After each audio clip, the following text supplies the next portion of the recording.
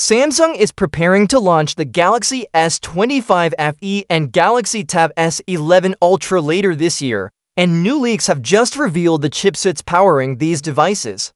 Interestingly, Samsung has decided not to go with Snapdragon chips this time. Instead, the company is focusing on more cost-effective options to keep prices under control and avoid any decline in sales. Let's take a closer look at what these upcoming devices have to offer, especially in terms of performance. Starting with the Galaxy S25 FE, Samsung is going with the Exynos 2400 processor. This is the same chip used in the Galaxy S24 and S24 Plus models, meaning it's not a huge upgrade, but still powerful enough for most users. The international variant of the S25 FE has been spotted on Geekbench, and its scores are now public. The device scored 1931 in single-core and 6,516 in multi-core tests. This is slightly lower than the US variant, which previously scored 2064 and 6,899 respectively. The Exynos 2400 is built using Samsung Foundry's 4 nanometers process. It comes with a 10-core CPU setup and is paired with AMD's Xclipse 940 GPU.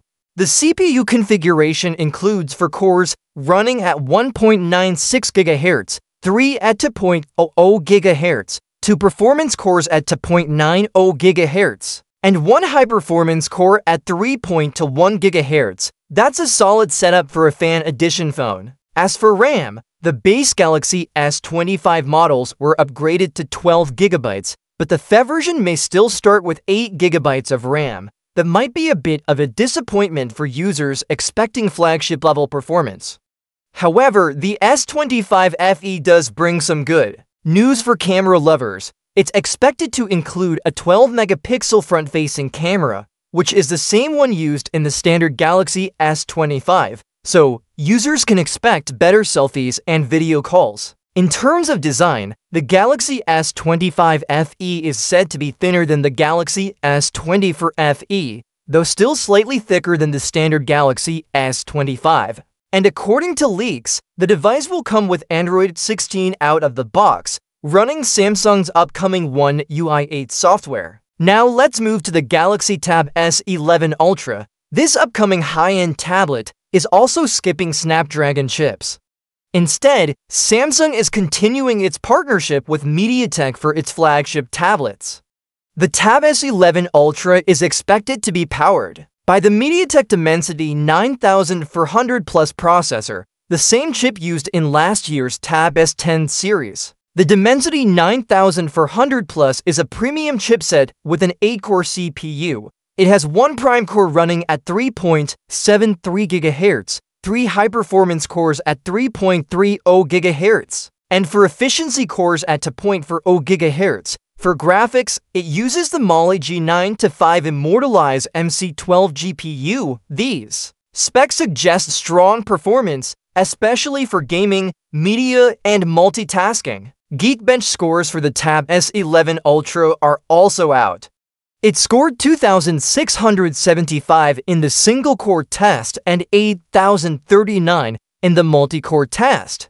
These are impressive numbers, showing that the tablet is capable of handling heavy tasks with ease, like the Galaxy S25 FE. The Tab S11 Ultra will also launch with Android 16 and Samsung's One UI 8 X Skin. With this hardware, the Galaxy Tab S11 Ultra should appeal to professionals, students, and creators who need a powerful tablet for both work and entertainment.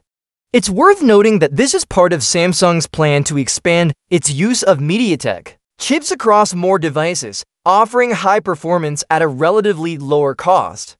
As of now, Samsung hasn't officially confirmed the launch dates for either the Galaxy S25 FE or the Tab S11 Ultra. However, it's expected that both devices will arrive later this year. At the moment, Samsung's main focus is on its upcoming Galaxy Unpacked event, scheduled for July 9th in New York. That event is expected to showcase the new foldable phones, smartwatches, and possibly even a teaser for these FE and Tab S11 devices. In summary, Samsung is making strategic choices to balance performance and price. By using the Exynos 2400 in the Galaxy S25 FE and the MediaTek Dimensity 9400 Plus in the Galaxy Tab S11 Ultra, the company is delivering strong performance without relying on more expensive Snapdragon chips. These choices could help Samsung maintain competitive pricing and attract more users in different market segments. We'll know more once the official announcements are made. Until then, these leaks give us a pretty good idea of what to expect from Samsung's upcoming Fan Edition phone and flagship tablet. Keep an eye out for more updates as we get closer to their official release.